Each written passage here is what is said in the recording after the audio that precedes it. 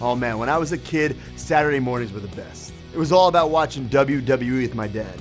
We're both huge fans of the Macho Man. Today, my dad's 59 years old, and every Father's Day, he still sits down to watch some of those historic matches on the WWE network, just like we did back then. We're not reliving memories, we're making new ones. Ooh, yeah. This Father's Day, give your dad the ultimate gift the WWE Network gift card. Available at Walmart and GameStop.